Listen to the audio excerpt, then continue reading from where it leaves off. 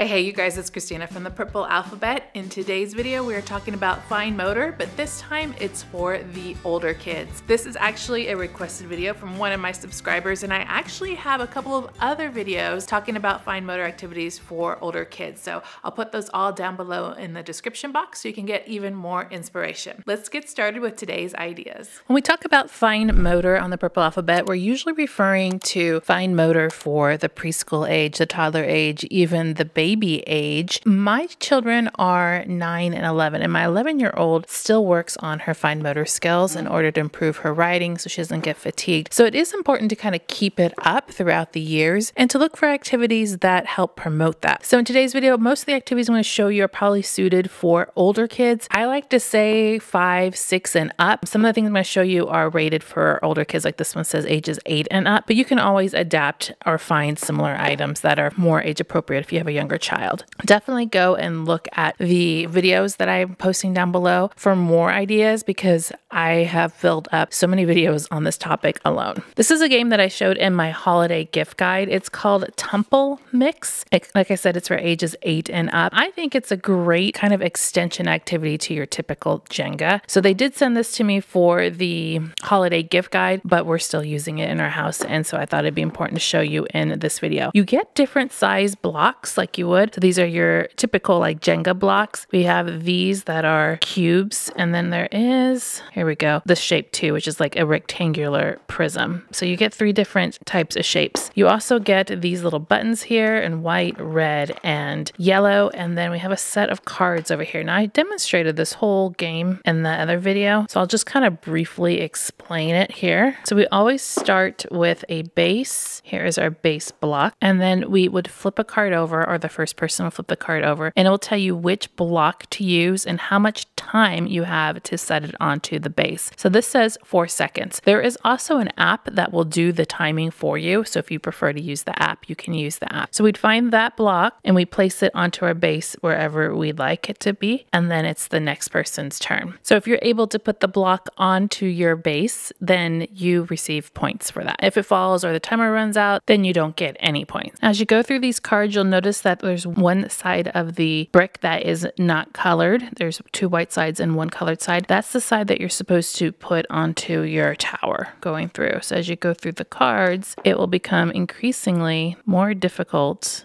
I'm gonna go center to add on more bricks. One more. There we go. Man, I am not having any luck with making it easy. Ta-da. Now, eventually you're going to turn up a card like this, and there's a little button or what they call a tump on here, and that's to be added onto your tower. So I have a white one here, and I have five seconds to place it onto my tower. Now, these little guys, they mean something. The white one means you put it on any part of the structure, including the base, and if it's placed on there, that means you can't use that portion of the brick. It's out of place. So if I put it here, nobody can put anything on top of there. If you get the red tump and you place it on a brick, that means, let's take my white one off here just for sample. You can't use any part of this entire brick plus any brick that is touching it below it, directly touching it. And then our yellow one, if you put this on a structure, that just means the entire brick is out of play. So you can still use ones that are touching this brick as you're building. So your structure will continue to grow and grow and grow. Some will fall off. You won't get points for them, but for everything you do, you do get points and everything's timed. So you have a lot of fine fine motor balance work going on, and of course, strategy because you're playing with other players. Once all of these bricks are gone out of the box, you tally up the points to find out the winner. So I just think this is a great take and an interesting way to work on the fine motor skills, very similar to some other brick building games like a Jenga, but it's more complex in the strategy. And I like all of these different little buttons that you put on here and you won't be able to do things as you build. And then it's more of a point based versus if it falls down, you just lose, right? So if things fall down, that's okay. You just continue on playing. I'll make sure to put links to everything that I'm showing you today down in my description box. I do have an Amazon store where I've been putting a lot of fine motor activities in there too. So you might find other ideas other than the ones that I'm showing you in this video. This one is a sticker by number, and if you watch the Purple Alphabet, you already know when they have the sticker books at Dollar Tree, I'm all about it. But that's more for counting numbers 1 to 50, 1 to 100. This one is for adults, is how they marketed it, but you can use it for older kids as well. This is the Brain Games. I got the sticker by number nature set, so you can see all the different pictures that they have here that you can make flowers, fish, pineapple. and it's a similar concept. It's taking stickers and placing them on a pre printed picture to make the picture. The only thing about this is that the pieces are smaller and they're oddly shaped too. There's lots of different shapes in here. So you really have to pay attention to how you're placing it on here. They do pull out. So these have little perforated edges right here on the side. So you can pull it out and do an individual page. And they're smaller ones and they go up to more complex ones. So here's like a flower that has a lot more than this one right here. So you can kind of pick one that you have time for or the patience for to complete them. It's kind of a really good mindfulness activity and then back in the back is where you'll find all of your sticker sheets and they're all labeled and numbered by page. So this is page two, page three. So you can find the page that works with your picture and go ahead and take it out. So peeling the stickers off is great fine motor work. And then actually placing them in each one of these slots is also good fine motor work. I like this because it's a great travel one. Take with you, take in the car, restaurant activities. Remember I used to make all those restaurant activity kit videos. If you have no idea what I'm talking about, I'll put it up here in the corner. There's a whole playlist of restaurant activity videos that I have. This would be one of those items that I put in there or even an activity kit video. They're recommending this one for ages seven and up. And if you don't like the nature one, there are so many different ones that I found and I'll link them down below too so you can find one that you like. This one is a fidget based and I actually have these from a video I did on our favorite fidgets, I believe. I'll have to find that one and put it up here in the corner too. If you're into fidgets and using them for learning, that would be a really good video to watch. This is a set that came with nine and they are magnetic rings. There's a little magnet in there and they actually, it's hard to tell, but they spin individually and they all come in different colors. I actually saw a really good TikTok, I think it was an occupational therapist TikTok that was showing how to use these for fine motor. And you can put one on each finger. Actually, I got one too many. One on each finger and work to pull them apart. And because they're magnetic and stick to each other, there's some resistance. They also used it for finger isolation. Like that. They also used it by manipulating one to go around the other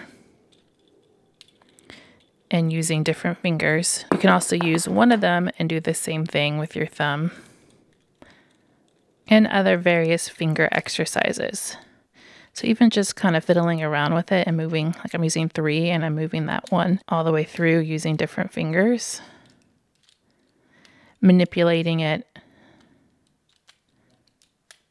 So you can come up with a couple different exercises, but it's just working that hand strength using these rings. And it's not so tough that it's hard to do. I think that's also important to note. It's like they're not stuck on there and you're really trying to get them off. It's really easy to do. And then they're also a great fidget toy. so you can just move them in your finger and they're small enough that they're not a distraction. This next one I'm going to take you upstairs is actually the one that inspired the whole video. People had a lot of questions about this one. So I'm going to take you upstairs to our bedroom where we have all of the supplies for it. All right, we're upstairs now because this is what I came up for. It's our jewelry making things. Now I know a lot of you probably already think, okay, yeah, jewelry making. I get it. Actually, I'm gonna turn the camera off. Hold on. Okay, sorry about that. It's hard to get this down with one hand. What I'm wanting to show you and what kind of resulted in this whole entire video were these bracelets. Now, we were making bracelets, and I showed you guys using crystal beads. My daughter is so over making bracelets with plastic cheap beads that they'd make for kids, right? So what we did inside this box is on TikTok, because not TikTok made me buy it, right? I went on and found some shops who are selling crystal beads, all different kinds of stones, and I bought a whole bunch. This is before Christmas. And my daughter really, really seemed to enjoy making bracelets using these versus all of the plastic beads that you'd find in the store. So I'm not going to mention all the TikTok shop owners because I actually, as you can see, purchased several times in several different ones, but I just wanted to show you that, that they're available. Make sure you're buying from someone reputable. This is how they come. So what you do is you choose which beads you want. You buy them in what's called bowls. These are the ones from a most recent order, and they scoop them for you live on TikTok and they have all kinds of deals. So like one bag is about $12 or so, depending. And I got several bowls during a New Year's sale for buy one, get one free. So that's why I have so many. When you do that, they also give you freebies. That's what's inside this package. And in the freebies, there's string in here to make your bracelets. There's little jewelry findings to make the spacers. So as you can see, in this bracelet right here. There's little spacers and those came as free gifts. And then there's a little string too that they send you so that you can actually do a full bracelet. You can do a basic bracelet like this with no spacers with all of these supplies. It's just a matter of stringing them on and then tying the string. And it became so popular in our house that we've just decided to do all the things. So that's all you need is just some beads. You can even just buy one bowl this was, I think, like $12 plus $4 shipping, although I got so much I didn't pay for shipping. And then you get the string to go with it and you're set and you're done. Now, if you want to get fancy, like we did, you can invest in a case to store your beads. That's what I did. I got this case. This is actually a case I used for magnetic letters a long time ago. And then you can invest in something like these jewelry boards where it just has these little places on here that tell you the different sizes and you can put your beads on the jewelry board to design them, which is what she really loves. She loves designing. And so she'll maybe put some beads here in the center and then pull them out and, and do all kinds of different designs until she finds what she likes and then she'll string them onto her bracelet. They even have these at Dollar Tree, which is the same thing, just much smaller. And so she was using this for a long time and I got that at Dollar Tree, but you can get the larger ones on Amazon. Also find different spacers. So here's a package of all the different spacers in different colors little circles and stars. These were um, not purchased off of TikTok, so I can put a link for those for you if you're interested in what we have. This is a package of beads from Amazon. I will link this one too. So the, the beads come in different sizes. I think these are five. This one I'm wearing is 10, which I think is too big for children. This one right here is um, an eight millimeter, and I think this is five. Let me show you the difference. All right, so you can see 10, eight is the purple, and then these green ones are five. So the ones on Amazon are much smaller. I like the eight, but for kids, eight and five would also be really good sizes. So because of that, I will link the beads that I found on Amazon and they come in this little case already. So you can see how I'm using my fingers to pick up each individual bead. That's what makes it fine motor work because these beads, you really need some good muscle control and then in stringing them. So it's like we would do with kids and Play-Doh and stringing beads when they were preschoolers. It's the same thing, just elevated and you have a really pretty result afterwards. So these are the smaller ones and they're gonna also require that fine muscle control, especially picking them up and stringing them. One last mention would be charms, which has been something really fun that she's enjoyed too. So a lot of them come with free charms. I think some of these are my fee charms, but you can also find these charms at Michael's. And then I did find some at Amazon too. So I will link the charms. Really fun. And honestly, you guys, we love these much better than we do any of the plastic beads that we get by far have really sparked her interest. And like I said, you guys were asking about it, which is the whole reason why I made this whole entire video. How do we do this? And to actually make the bracelet, very simple. Just start off like this, simply beading them on the string, design the colors and the pattern you want, and then if you wanted to upgrade, add in spacers to make it even extra fancy. And that's all we did. It's that simple and pretty. I'll link it all down below. This next one is called Punch Needle or Punch Needle Art. And it was something we tried just on a whim. This was a birthday present for my 11 year old. And we decided to just give it a shot to see if she liked it. And then since she ended up liking it, I ended up getting her two more kits I think this one has some flowers on it and some beach designs. But the first one she did was this ocean wave scene with the sun. Comes with everything you need in the kit. And this is something completely unlike we've done before. The instructions and then the yarn is all, the yarn's all mixed up because we're actually done with this one. So don't let that be deceiving, but it comes neatly wound up. All the colors that you need to complete the project. And this is actually extras. So I'm kind of trying to decide what to do with this right now. Then it also comes with your punch needle. And this is the tool you'll use. And apparently there's a lot of different tools that you can use with punch needle art. I had no idea. It's like a whole thing. And it comes with this threader, long threader here. And let's see, here is also,